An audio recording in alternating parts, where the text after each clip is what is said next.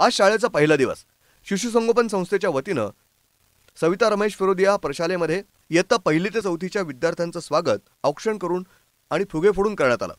यावेळी मुलांवर पुष्पवर्षाव करण्यात आला.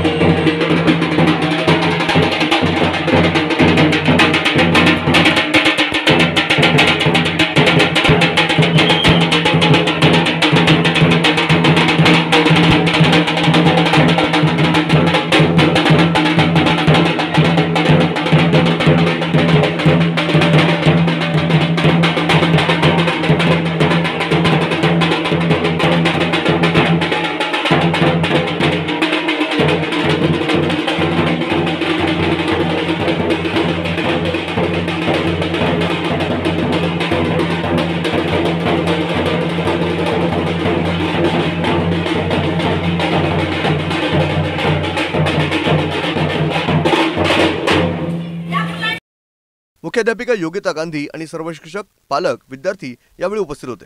गेल्या दीड वर्षापासून कोरोनाच्या पार्श्वभूमीवर शाळा बंद होती. शासनानं वेळोवेळी नियम करून विद्यार्थ्यांना शैक्षणिक अडचणी सोडवण्यासाठी मार्गदर्शन केलं आणि अभ्यासक्रम पूर्ण करून घेतला. आता शासनाच्या निर्देशानुसार शाळा पुन्हा सुरू झाल्या आहेत. गेल्या दोन दिवसांपासून सर्व वर्गांची स्वच्छता करून वर्ग सॅनिटाईज करण्यात आलेत. विद्यार्थ्यांच्या आरोग्याबाबत काळजी घेण्यात आलेली आहे. यापुढेही विद्यार्थ्यांची नियमित आरोग्य तपासणी करण्यात येणार आहे. शैक्षणिक वर्षाचा सर्व अभ्यासक्रम या कालावधीत पूर्ण करण्यास प्राधान्य राहील. जे विद्यार्थी शाळेत येऊ शकत नाहीत त्यांच्यासाठी ऑनलाईन सुविधाही उपलब्ध करून देण्यात आले असल्याचं मुख्याध्यापिका योगिता गांधी यांनी सांगितलंय. शाळेच्या वतीनं सर्व पालकांकडून संमतीपत्र घेण्यात आलंय. तसंच विद्यार्थी पालकांना मास्क तसंच विद्यार्थी आणि पालकांना मास्क घालणं बंधनकारक करण्यात आलंय.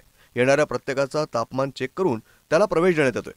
यावेळी संस्थेचे अध्यक्ष दिलीप गुंडेचा उपाध्यक्ष दशरथ खोसे सचिव रधो कासवा सहसचिव राजेश झालाणी खजिनदार ॲडव्होकेट विजयकुमार मुनत तसंच विश्वस्त उपस्थित होते. प्रतिनिधी Prasad Shinde bureau report news desk महानगराची lifeline Ahmednagar.